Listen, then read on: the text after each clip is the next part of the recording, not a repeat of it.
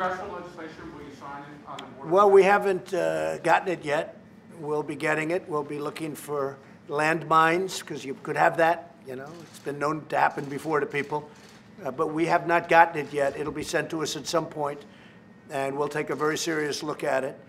Uh, We have a lot of things happening right now. We're building a lot of wall right now with money that we already have.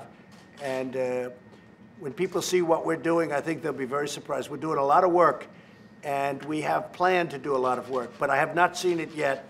Uh, I appreciate all the work the Republicans have done, because they're really going against a radical left.